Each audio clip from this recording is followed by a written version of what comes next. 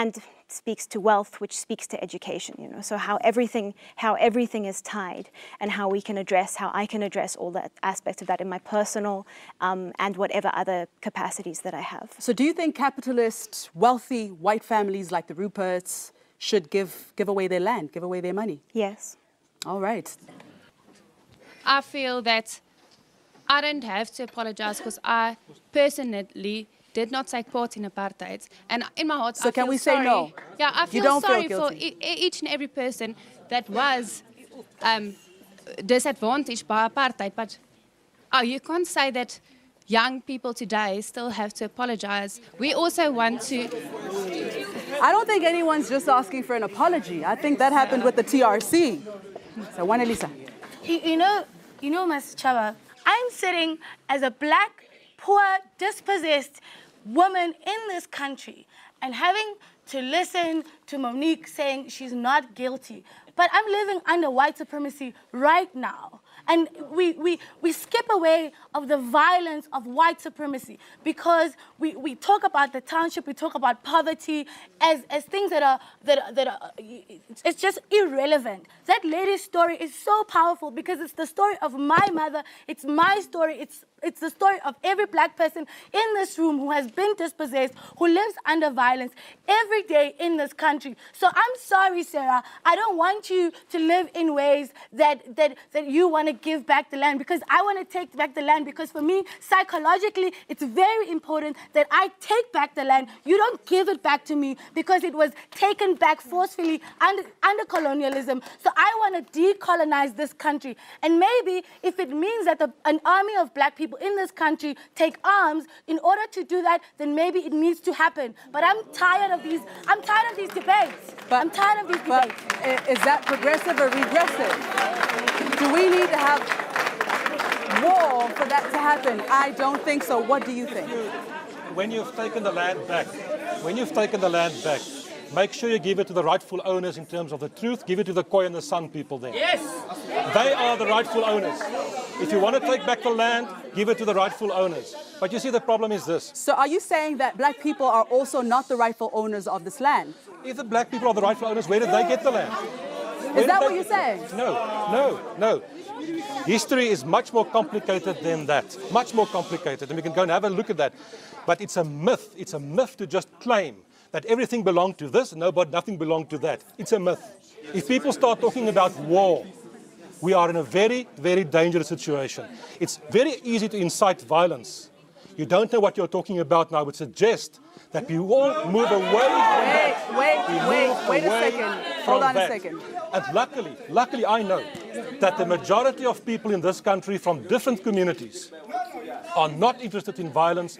They are not interested in conflict and war. Those are side elements that should not be allowed to destroy the fabric of social cohesion in this country. All right, thank you very much. allowed to do that. Cohesion. Thank you very No much. Social cohesion. Um, if you want my land, you can come and take it right now. I've never owned any land anywhere ever.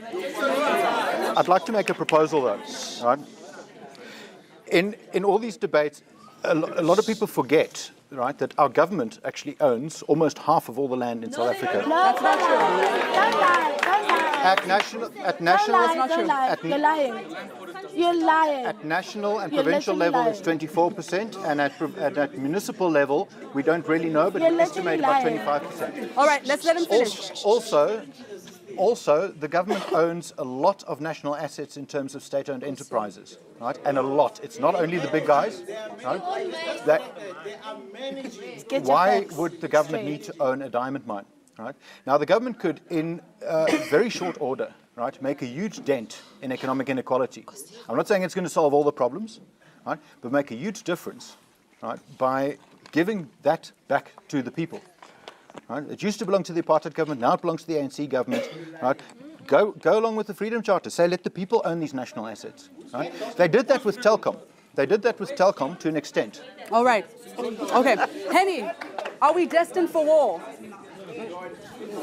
I don't think we should wish for war. I think, Masachaba, we speak easily about it, and I understand our frustration, but I think we must, in respecting those who have fought for our freedom and who have fallen, we shouldn't wish this thing back upon us.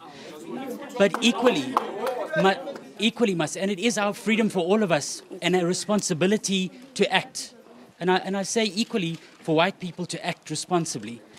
And while we talk about the land issue, and it is fundamental, I think equally we have to talk about our economy. We have to say every year about 300 billion rand leaves this, this country in capital that very wealthy people own, which they move offshore. It's a fundamentally unpatriotic act that happens of undermining the future of this country.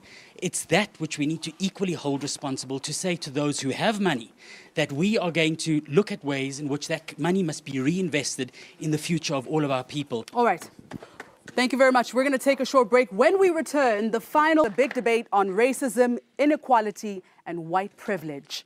South Africa is certainly more divided than ever. What will it take to create a real non racist society? I, I think it's very important for us not to individualize this issue because I do think that, that one, uh, we are already in an incredibly um, polarized um, uh, condition at the moment over the past few, that's been rising over the past few years.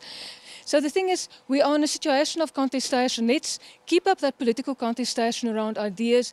What are the best models? What are the, the best ways to dismantle whiteness, dismantle white privilege, and, and, and look at, and, and, but to throw out the constitution in the process, to say we need a war to, to, to, to fix this, I think is, is actually um, uh, not, not, um, not actually giving credence to the lives that were lost, to the very hard battles that were fought, I think we need to understand that there is no vehicle in this country that is being used to drive social cohesion. Uh, apartheid fell after de Klerk had a whites only referendum after the sports movement was crippled in this country. I think we need to look at a vehicle that can drive us forward. Rhodes must fall indeed, but there's lots of other things that need to fall along with it. When land was violently taken from black people, it was taken as a resource to, to life, to access to life. When 35,000 families own 80% of the land in South Africa, they own the economy of South Africa. The struggle towards um, building a new country that is black, because South Africa is first and foremost a black country that should portray African values, that struggle should only be led by black people. I incidentally don't share the idea that the problem that we're dealing with here is whiteness, it's capitalism the deal that was signed uh, at CODESA was calculated to preserve the ownership of the commanding heights of the economy, the banks, the mines, the big commercial farms, and so forth, in the hands of the capitalist class. The basis of that agreement was that ways would be opened for the aspirant black elite, represented by the ANC, to be given some crumbs in the form of BEE, as I think Moeletsi Mbeki in his book about, about the subject has so eloquently explained. I'm not interested, by the way, in a society in which we are ruled by black billionaires instead of white billionaires. We do not want any kind of billionaires at all, so that the wealth of this country is owned and controlled by the overwhelming majority. We don't want, eh, we don't want equality of poverty. What we want is equality of wealth. Steve Biko questioned whether there would be space for all of us at the rendezvous of victory.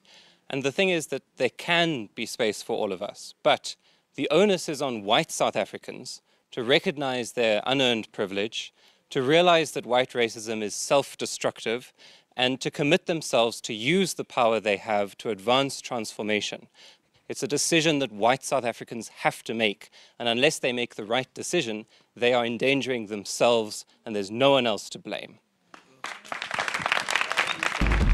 Uh, it's been very disturbing to hear comments like, How disempowered am I really if I'm able to go to an institution of higher learning? Firstly, you do not know the cost at, that which, at which that came. Black kids have to go and prove how poor they are just to get a loan from NSFAS, and then you are not poor enough. So you still can't pay your loans. You need to. So that was very disturbing. And secondly, you cannot continue to tell us that education is the key and not the land when black graduates are standing on the street corners with signs. You're watching the big debate. When we come back, I'm an optimist, I'm a positive person, and I think that we still have wonderful things to achieve in South Africa. But we have to celebrate our diversity. Together we can make a success of this country. I'm committed to do so, and I think the majority of our people will do the same.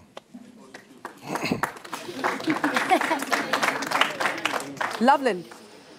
I think that in as much as the systems of oppression have, benefit peop- have benefited people at a group level, I think that at a group level, people have a responsibility of undoing those systems. And so when people say, what must white people do to undo their white privilege, it needs to be a very deliberate daily action. It means paying your workers better. It means respecting black people. It means not talking down to black people. It means, you know, allowing and even, you know, reducing the amount of space you take so that other black people can just feel human and dignified in a space. Mm. It has to be deliberate, and I think this conversation is not going to end until it's deliberate and until white people are as uncomfortable in their own skin as black South Africans have been. Sarah.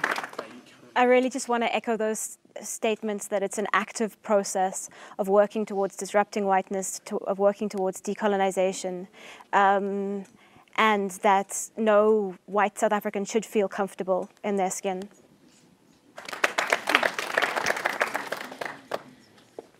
I mean, who cares what I think, really? I think that the most important decisions in this country are not mine to make, and that the sooner white South Africans realize this is a black country, the better.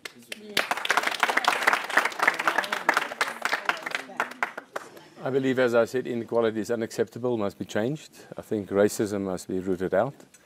I think intolerance, as I've seen in this debate, must also be rooted out. And I do think that if we take the Constitution and we take the Freedom Charter, that the land belongs to everyone who lives in it, like white and black, we can go forward. Thank you. All right.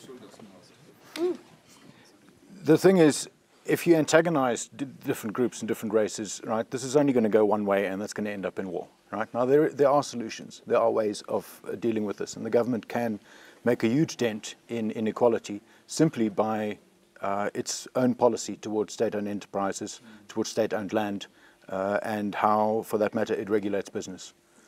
Thank you. Datembek. We have seen the war in Syria, what it does, and I strongly discourage those who think it will solve the problems of South Africa by us fighting amongst a civil war amongst us South Africans. Thank you. Um, I think the, the the the discussions around not inciting war uh, are very are, are based on an an not understanding um, how uh, uh, the concentration camps, currently known as townships, are actually war zones. There's an urgency uh, for, for black people to be able to breathe in their own country, in their own land. That, uh, and, and that's a necessary process that needs to happen.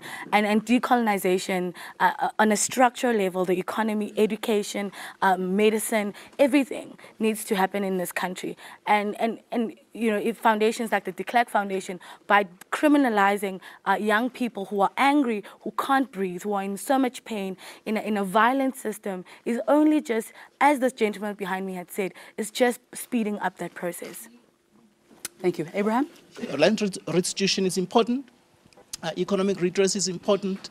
Uh, you can't just say, as long as you overthrow capitalism, then you'll have uh, you know, attain total societal transformation. That level of reductionism actually makes nonsense of a very complex uh, project that, that, that you're involved in. That's not cool. What, what potentially makes nonsense of our democratic project must be the concentration of power in the hands of small groups of people. Ultimately, I think that is what the fight against racism is about, and equally what the fight against the ownership of the economy in the hands of very few people is about. So I think for us to be able to look at a future as a country, it has to be to dealing with uh, economic inequality and, and dealing with the power that very, very few people have in our country uh, and the dispossession that that results in. Thank you, Henny. I think it is very important to keep on with this debate and to keep it honest and frank. So, um, yeah, so everybody should be heard and everybody's view should be respected. I strongly believe that education is a crisis in this country and that will help to dissolve inequality. So there is 80% of schools in South Africa is dysfunctional and that is um, unacceptable. Thank you very much.